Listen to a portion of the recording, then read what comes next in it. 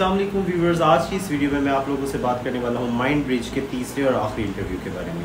पहले दो इंटरव्यूज़ के बारे में मैं आपको दो वीडियोस में बता चुका हूँ और आज मैं आप लोगों को बताने वाला हूँ तीसरे और आखिरी इंटरव्यू के बारे में। पहले मेरा एक इंटरव्यू हुआ था, वो एक बेसिक इंटरव्यू होता है, जो आप वॉक इन इंटरव्यू भी इसको कहते हैं, या वॉकी टॉकी इंटरव्यू भी आप उसको कहते हैं। उसके लिए आप उनके ऑफ़िस जाते हैं और वहाँ पर आपका एक इनिशियल बेसिक इंटरव्यू होता है, जिसके अंदर आपके, आपसे कुछ बेसिक क्वेश्चन पूछे जाते हैं। और उसके बारे में मैं आपको पहले प्रैक्टिस करवा चुका हूँ। आज उसके बाद दूसरा भी मैंने आपको इंटरव्यू बताया कि फिर उसके बाद आपको किसी जो कैंपेन हेड होता है, उससे आपकी मीटिंग करवाई जाती है और वो फिर आपको सेलेक्ट करता है कि आया कि उसको आपके जैसे किसी बंदे की ज़रूरत है या नहीं है।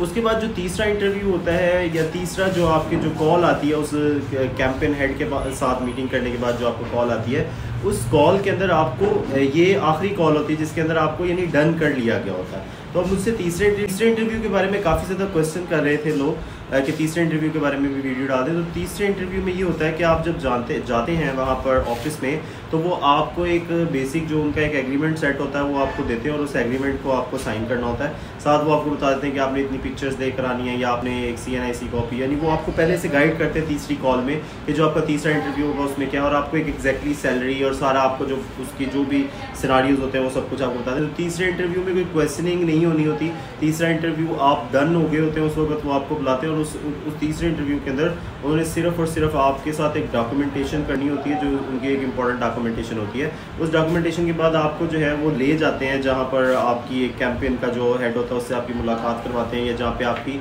एक ट्रेनिंग होती होती है। तो उस ट्रेनिंग के लिए वो आपको ले जाते हैं, वहाँ पर फिर आपकी एक ट्रेनिंग सेशन होता है जो कि चार घंटे पर मुहित होता है, उसमें दो घंटे बाद आपको ब्रेक होनी होती है। और ये तकरीबन एक वीक जो है, एक वीक से दो वीक चलना होता है, जो जिस कैंपेन के हिसाब से आपका होगा। और उसके बाद आप लोगों को जो है वो फिर आपका जो है वो स्टार्ट हो जाता है, यानी पे रोल आपका स्टार्ट हो जाता है। फ़र्स्ट मंथ में आपको जो सैलरी होती है, उसका सिर्फ़ आपको बेसिक का हाफ़ मिलना होता है, और कोई इंसेंटिव वगैरह आपको नहीं मिलना होता। और सेकंड मंथ से फिर आपके इंसेंटिव वगैरह और सारी आपकी जो है वो मंथली इनकम वगैरह स्टार्ट हो जाती है। अगर आपको मज़ीद कोई क्वेश्चन पूछना हो तो आप कमेंट सेक्शन में मुझसे पूछ सकते हैं।